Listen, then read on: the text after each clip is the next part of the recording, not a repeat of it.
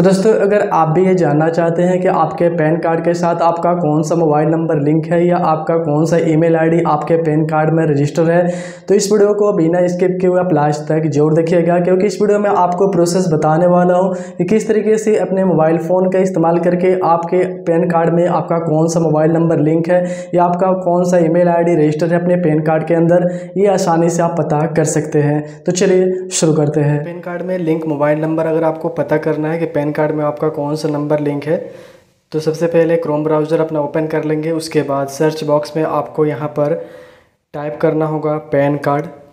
आप टाइप कर लेंगे PAN card download PAN card download आपको टाइप करना है। इस तरीके से पैन कार्ड डाउनलोड आप टाइप करके सर्च कर लेंगे।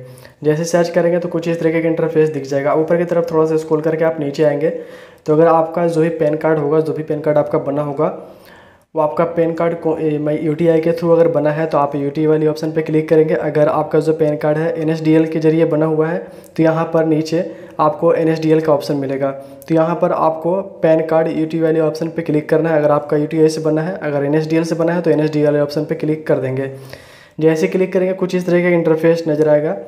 अगर आपका यूटीआई से बना है तो इस तरीके से इंटरफेस नज़र आएगा। अब आपको अपना जो मोबाइल नंबर है, वो पता करना है कि आपका कौन सा नंबर आपके पैन कार्ड में लिंक है। तो उसके लिए आपको क्या करना है, देख सकते हैं यहाँ पर।